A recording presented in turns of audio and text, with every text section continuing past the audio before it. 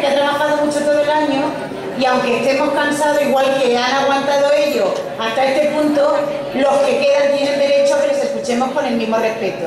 Así que por favor...